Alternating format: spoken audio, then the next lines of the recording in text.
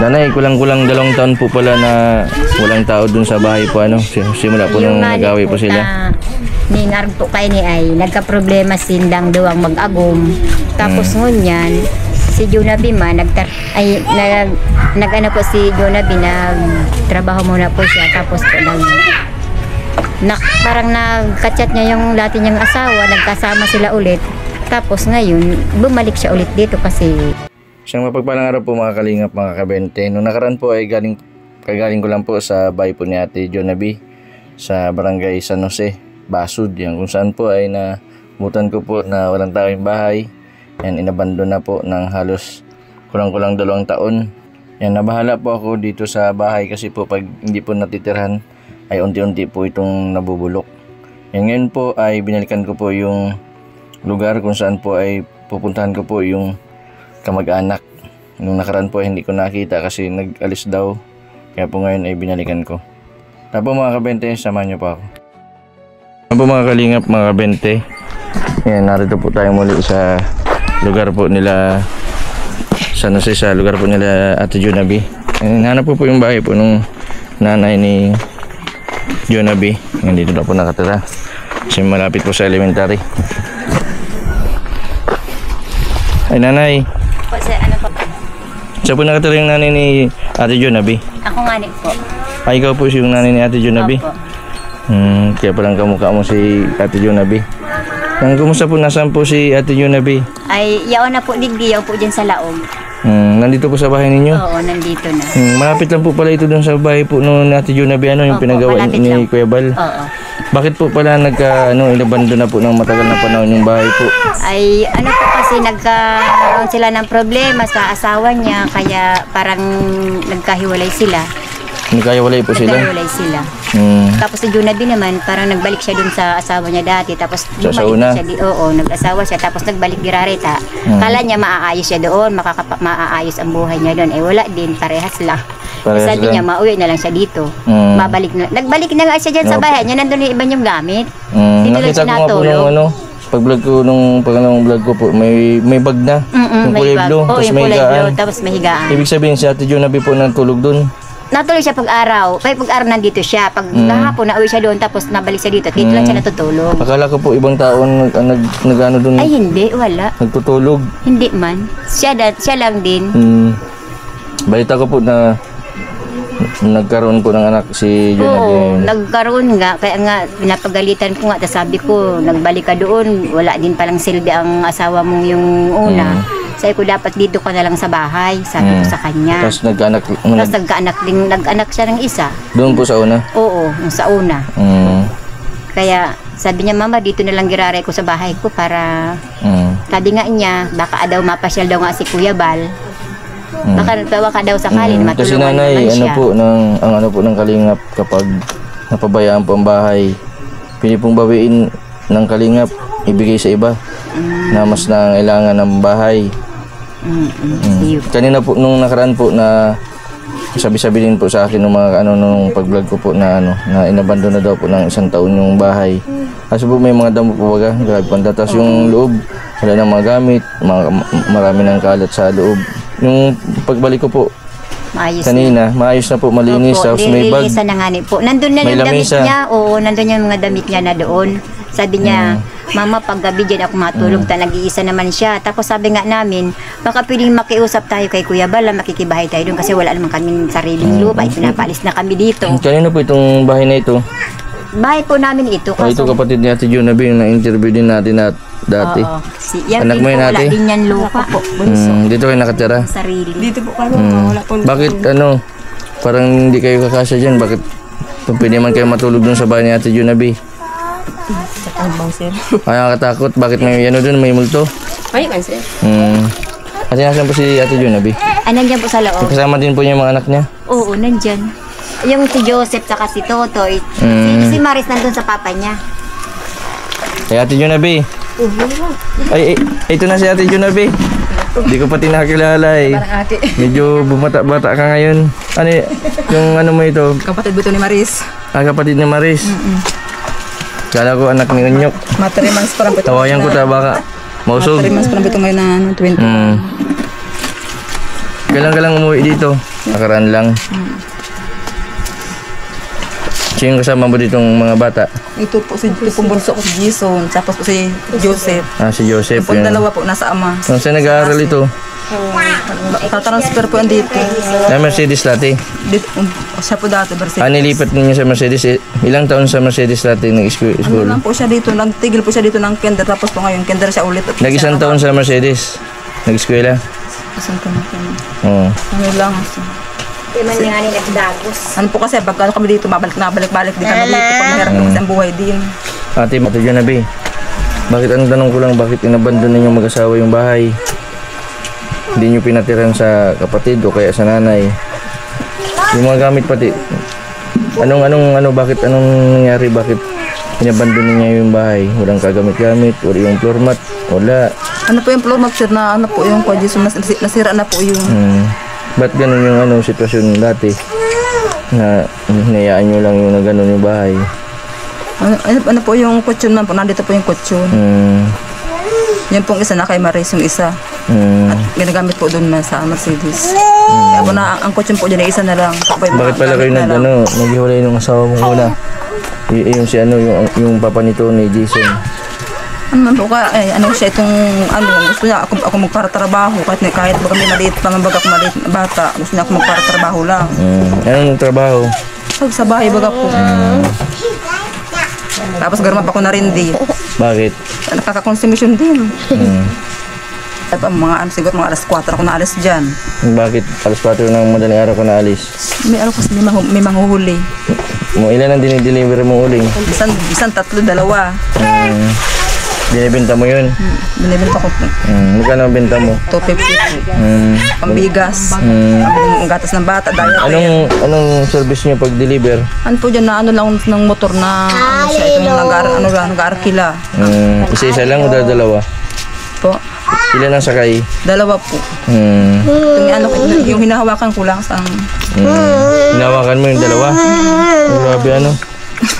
Mm. para may, walang maibiling pagkapagkain sa pang anong akin. Yung dalawa mong anak kasama ni ano? Sama po nung ama si Russell, Yung saka si, si Russell, saka si Gerald. Mm. Ano po sa nag-ano sila po sa bundok, nag-uuling daw po sa Taralala, nag-uuling daw. Mm. Sa Parakali. Mm. Ano sa bundok nakatira? Bakit ano, Jonabi, hindi mo pinalam kay Kuya Bal na alisan niyo yung bahay kay Kuya Bal? Ito kung kapaalam din. Mm. Sana inigaw ng paraan para hindi kayo nagka ano, gaiwalay. Mm. Kasi ang parang ni Kuya Bal noon, si Unyok yung asawa mo, pwede mo mag, ano no, kasi naggagawa baga ng bahay, marunong gumawa man yung asawa mo ng bahay. Pwede man sana mag-extra dun kay Kuya Bal. Hindi lang kayo nagsasabi. Hindi lang din kami nakakabisita gawa ng marami din kami pinupuntahan. So akala namin okay na kayo kasi may bahay na kayo kasi ang problema lang kasi nyo dati bahay lang. Bahay tas sa ano lupa. Huwag ka makulit. Di anong plano mo ngayon, Jonabi? Kababalik mo lang dito ulit sa San Jose. Kasama ito, baby. Sino na mag-aalaga nitong anak mo? Yan. Si mama po. Ah, si mama mo mag-aalaga. Tapos anong gagawin mo? Nagtatrabaho po kung sakali. Hmm. Nagtatrabaho.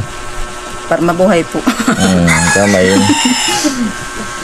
Naguyang sanggol na para para mabu gra- ano, grabe po niya eh. Ano sa ma madinidi sa buti. Sa buti kasi nagdididi siya, ma- magastos. Hindi siya nagdididi. Alam po siya ano yung gatas ko, pa- parang sa ulan na patak-patak lang. Mm. Mahina. Nga ni Kuya Bal. Nagalitan ka nun Kuya Bal. Inabando na mo yung bahay. Anong masasabi mo dito na nanonood si Kuya Bal? Oh? Jason kasi nung ka oh. Ate Jonabi, bakit pala umalis ka dyan sa ano, dito sa bahay mo? Na pwede mo naman na ano, na maghiwalay kayo. Sabi, bakit pala, anong pinakadahilan mo? Bakit bigla kang nawala dito sa San Jose, umalis? Ano po, nag ano pa ako sa kasi ano, yung inisip ko pa mga aki pas nag ano pa ako nag-rescue na mamayang pang budget diyan mm. ano pa ako diyan para trabaho mo ako sa Mercedes sa karihan Hmm. Tapos ano pang sabi sa'yo ng asawa mo? ay man po Mama. anggot lang po sa kuya Mm, sabi ng kapatid mo, huwag ka umalis dyan kasi ano? Ano natin? Hindi na may tahin daw po. Ah, di na may tayin. Hindi kaya pala natakot si Junabi. Kaya umalis dito sa San Jose. Opo. Hmm. Hindi ka na ganun sa barangay. Hmm. Kaya pala umalis dito. Opo. Hmm. Isang taon na wala dito si Junabi ano? 2020, November 20, November 2. Hmm. 22 dito. Yan po po para trabaho lang po sa Mercedes. Alampas Tapos sa ano. napun- naan pa ko dito, napunta pa ko dito, bihira na kala mama, at naan po niya kay Usip, asa akin ko po binibisita ko dito, dito pong anak ko. Hmm. Hmm. Anong masasabi mo kay Kuya Bal? Kuya Bal, sorry po kung naghalip ako, di matagal. Kasi po na, dala pa ng pag-ano lang sa pamilya. Dala ng katakutan. Ah, natakot ka sa asawa mo. Ano kaya kung malaman niya bumalik ka dyan, baka balikan ka ng asawa mo? Hindi man kaya. Ewan ko di ko po alam. Magpa-blatter ka din sa barangay. Pagbalikan, nabuko na po. Yung Hmm. Taong ka na ba ka Junabi ngayon? 37 po. May magkaedad lang pa na tayo.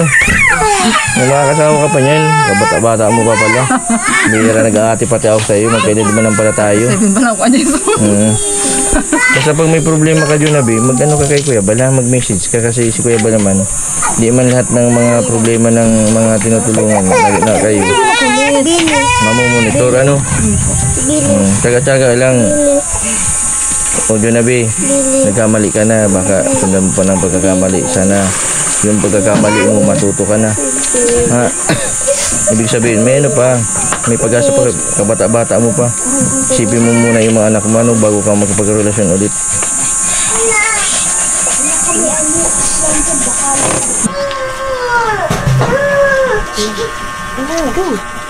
Hmm.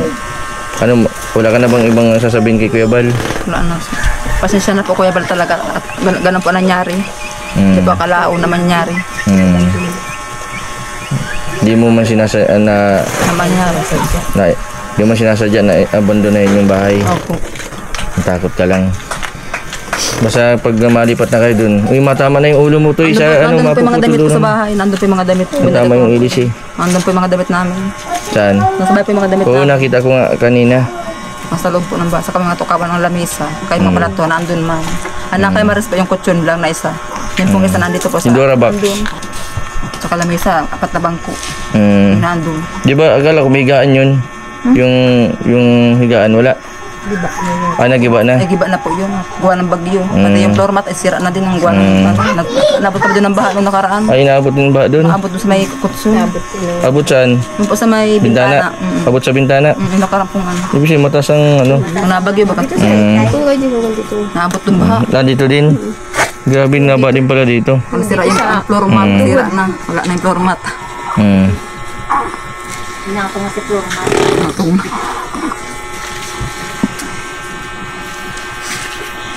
Ang na pati ng baby nito. Anong pangalan niyan? Jensen. Jansen. Kamukha ni Maris. Si Maris, nasaan na pa si Maris? Nandun po sa papa niya. Hmm, hindi na mauwi dito. Napunta po dito pag linggo minsan. Na, nabisita lang, nabalik din. Hmm. Po sa Sandro pinag-aaral. Na, grade 9 na si Maris. Hmm.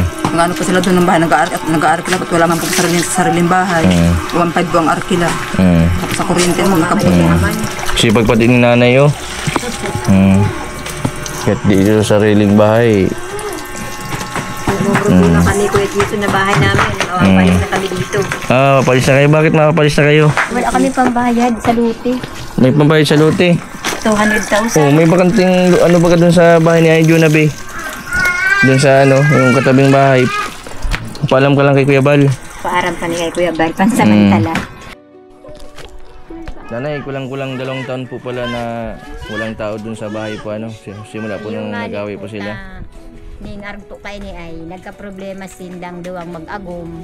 Tapos ngunyan si Jonabi man nagtar ay nag nag-ano po si Jonabi nag trabaho muna po siya tapos po nag nak, parang nagka-chat niya yung dati niyang asawa, nagkasama sila ulit.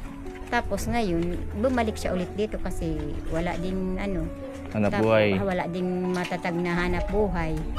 Kaya hindi naman siguro yung parang pinabayaan niya yung bahay. Kasi kami, lagi naman kami napunta doon.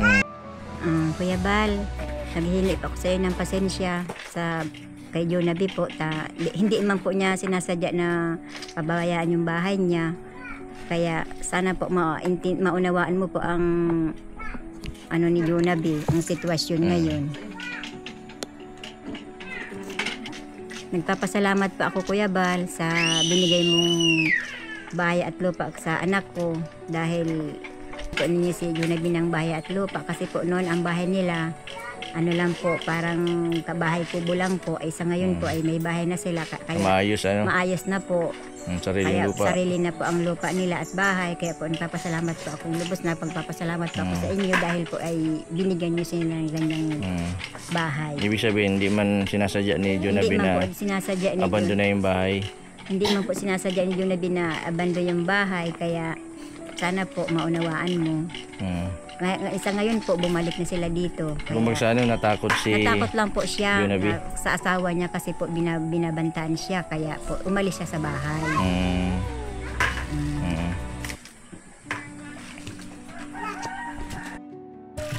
Taga-taga lang po nanay ano. Pag nagpunta po dyan si Kuya Bal, kausapin na lang po ninyo nanay ano.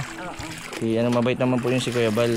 Nang hindi din po niya alam yung dahilan. Kahit po ako, di ko din po alam yung naging problema nila Junabi. Yan sana Junabi, magbigay sa'yo ng aral kung ano yung nangyari ano. Mm. Yan, basta tuloy mo lang ang buhay, huwag ka ma-stress. Kasi baka ma-injectionan ka. Pag na-depress ka. Magsolusyon pa ako. Mm. O dyan mo na ito, pang bili-bili ng ano, Salamat po. ng gatas ni baby.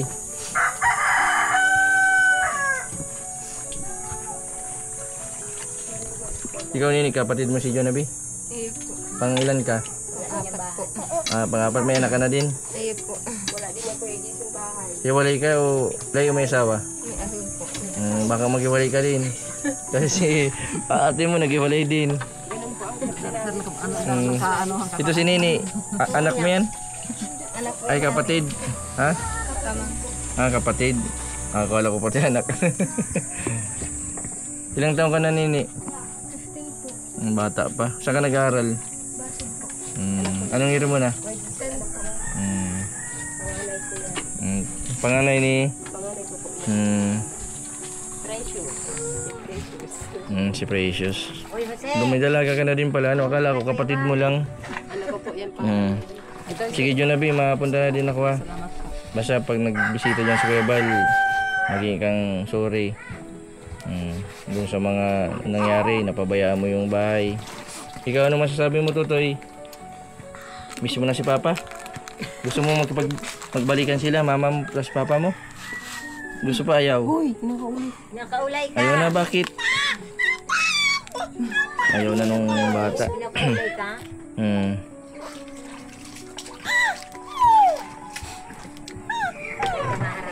Hmm. Yan po mga kalingap, mga kabente, nakausap ko po si nanay ni Junabi at uh, si Junabi po ay kadarating lang galing pong Mercedes. Sinundo po ng magulang.